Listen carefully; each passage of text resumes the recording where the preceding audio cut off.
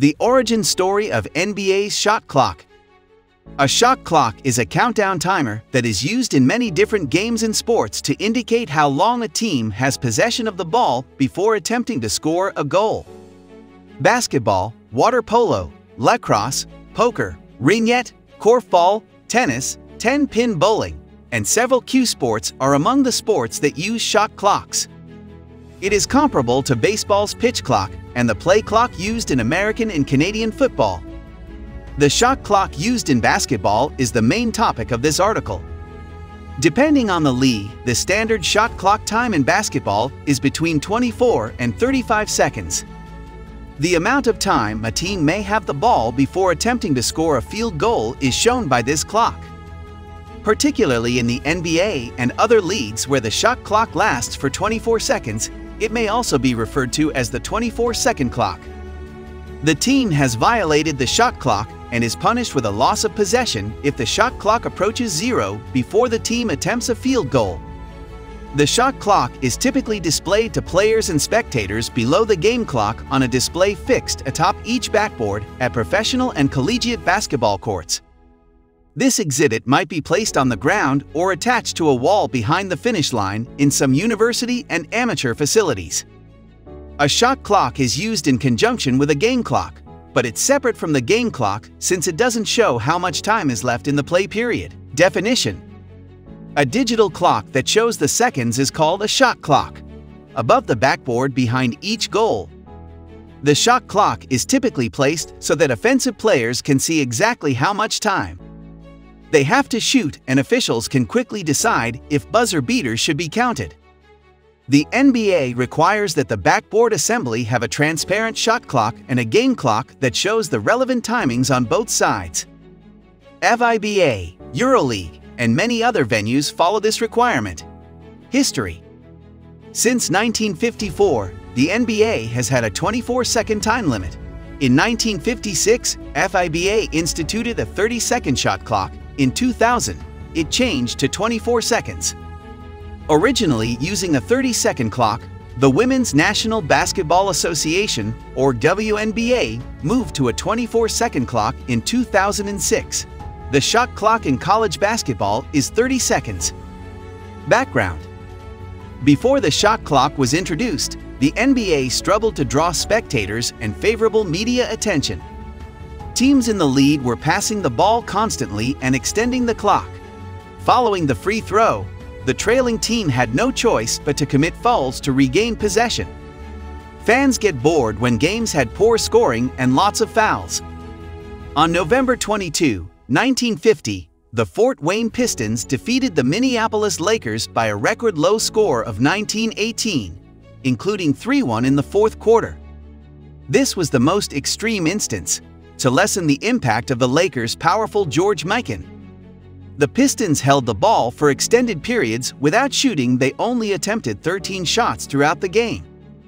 The result was that the Pistons gave pro basketball a tremendous black eye, according to the St. Paul Dispatch. According to NBA President Maurice Podoloff, with the number of talents we have, we naturally run up large scores in our game. A few weeks after the Pistons or Lakers game, the Indianapolis Olympians and Rochester Royals engaged in a six-overtime contest with just one shot allowed in each extra period. The team that received the ball first was required to keep possession of the ball for the duration of each overtime before attempting a last-second shot.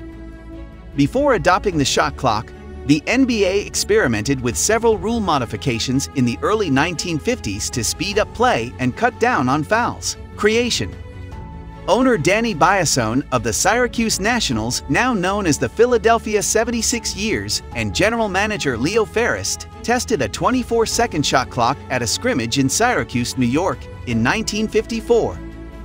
The Syracuse Post longtime standards basketball writer Jack Andrews often recalled how Ferris would spend time at Danny Biasone's Eastwood Bowling Alley sketching out possible shot clock formulas on a napkin. As stated by Biasone, I examined the box scores of the games that I liked, games where they didn't stall and fool around. I observed that each squad took roughly 60 shots.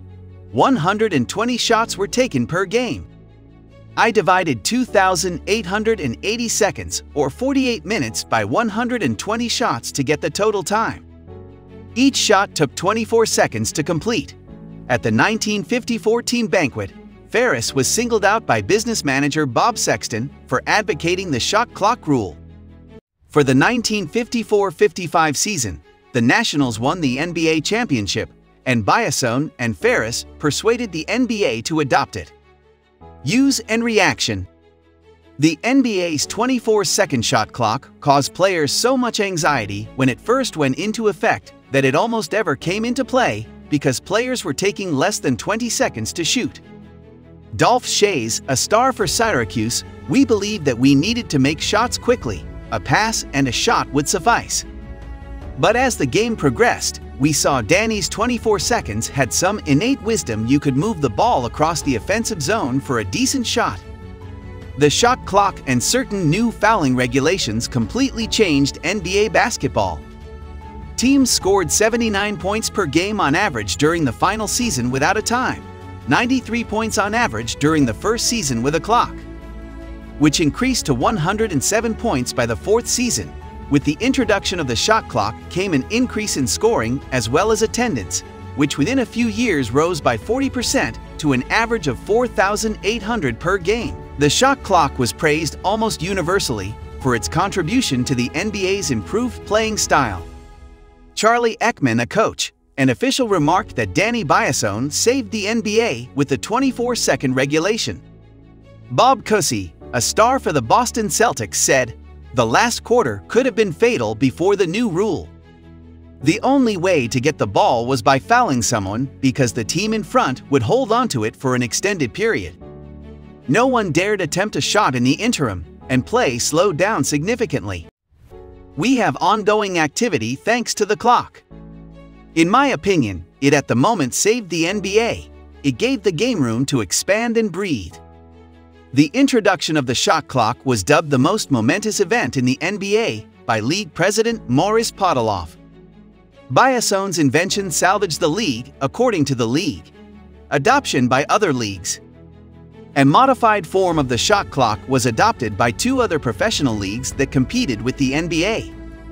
During its two years of existence, the American Basketball League used a 30-second shot clock. When the American Basketball Association began to play in 1967-68, it also adopted a 30-second timer before converting to the NBA's 24-second format for its last season. The Philippine Basketball Association started using a 25-second shot clock in 1975. This was because the shot clocks installed at the league's primary arenas at the time the Araneta Coliseum and the Rizal Memorial Coliseum could only be set at 5-second intervals. After that, the league began using a 24-second clock beginning with the 1995 campaign. The 23-second clock was still in use by the Metropolitan Basketball Association in the Philippines as of its inaugural season in 1998. The UAAP Basketball Championship and the NCAA Basketball Championship in collegiate basketball in the Philippines both employed a 30-second clock before switching to a 24-second clock as of the start of the 2001-02 UAAP Season 64, the first season following the FIBA regulation change in 2001. That's all for today's origin story video guys. Tell us your thoughts in the comment section. And if you're new to the channel, don't forget to subscribe. Let us know what origin story you'd like to learn about next in the comments. Thank you very much for taking the time to watch this video. See you in the next video. Until then, best wishes. Thanks for watching.